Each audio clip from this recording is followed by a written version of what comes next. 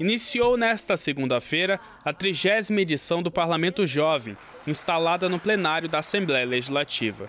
Cerca de 39 estudantes catarinenses irão participar do programa, desenvolvido pelo Núcleo de Educação para a Democracia da Escola da LESC, que possibilita a jovens de escolas públicas e privadas conhecerem o funcionamento do parlamento estadual e vivenciarem a rotina de atividades de um parlamentar. Entre os participantes está André Bernardo Alves, estudante de 18 anos do Colégio Cinecista Pedro Faial, no município de Itajaí. André é o mais velho entre os participantes e presidiu a primeira sessão.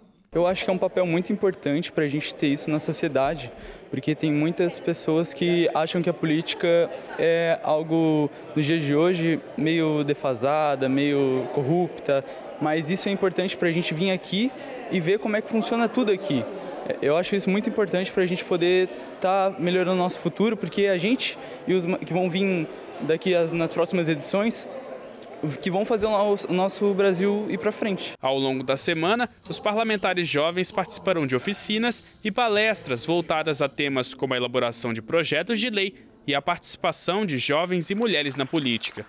Os participantes também farão debates sobre as proposições elaboradas que irão à votação em uma sessão plenária marcada para a próxima quinta-feira, dia 1 de junho, quando se encerra o evento.